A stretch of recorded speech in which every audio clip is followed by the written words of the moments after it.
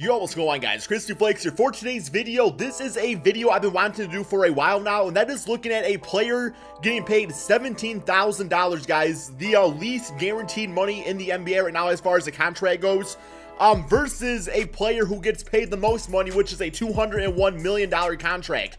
So what I did, guys, is I took both those uh, two separate players, the one uh, that's only getting 17,000, his name is Jarnell Eddie. He actually plays for the Chicago Bulls. So I'm going to put him on this, you know, self-created team, the Ducks, because, you know, Ducks are pretty, I mean, I, I, I like Ducks, guys. I mean, I don't like Ducks. It's just like Ducks are a thing. I don't know. I just picked that jersey because why not? So he's going to get 48 minutes.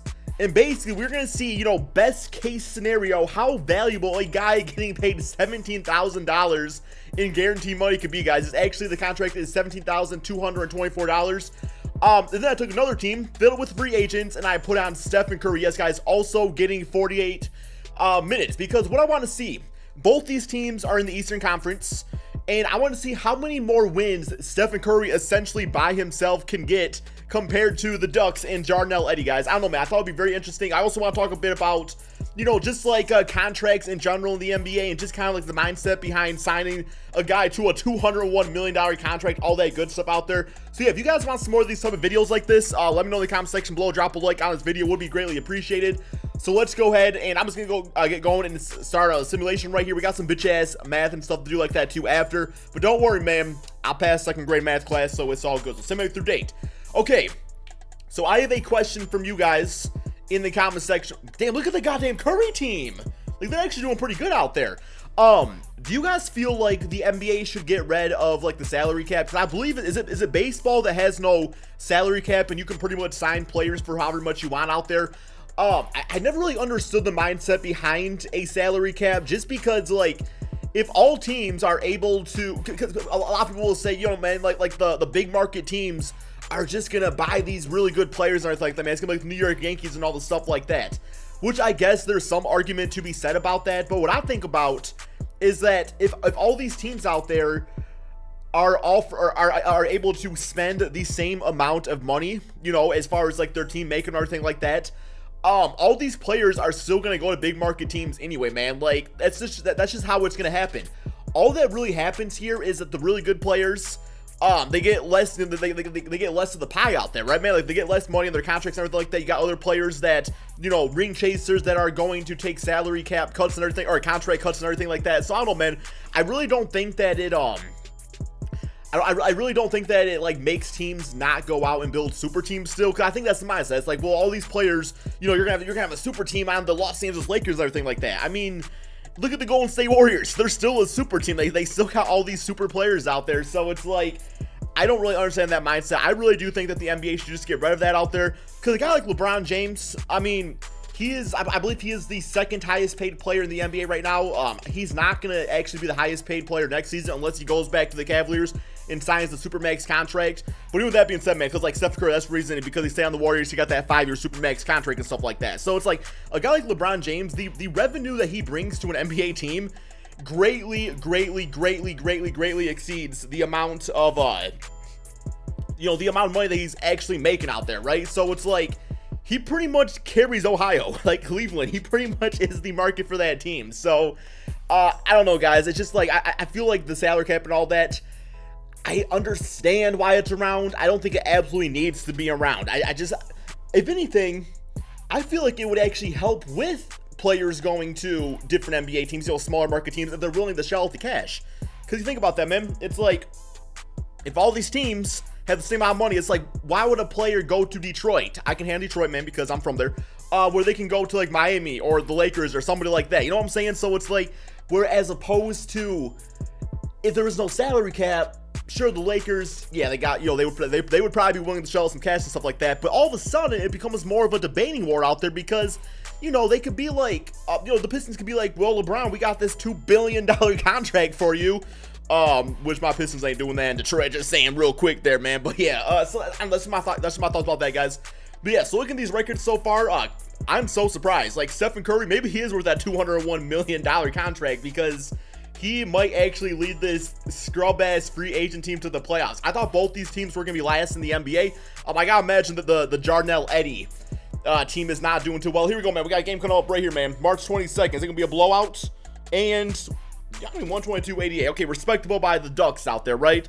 So yeah, I mean, how much? If you were a GM of a team, how much would you be willing to pay LeBron James? Like, if you were like, oh, I guess it would be the owner or whatever, man, because whoever's whoever's pocket the money is coming out, man. How much will you, will you be willing to get a guy like LeBron James on your team? I'm just saying, man. Um, you know, 34, 35 million dollars a season.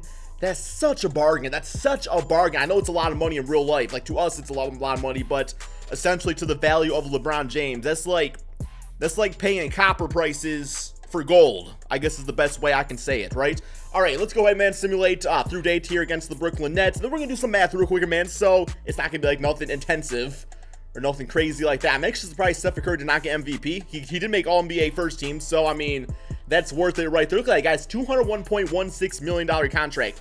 Uh, Jarnell Eddie's not actually going to show up as only getting paid $17,000 because 2K does not go that low in this game. But here we go. Okay, so record-wise, they actually went 19 and 63. So value-wise, man, I'm really curious what type of stats he put up. Let's take a look at him first. So player stats. Damn, Jarnell. This man put up 29.9 points per game. Okay, so let me add this into my bitch-ass calculator, guys. So 29.9 points per game.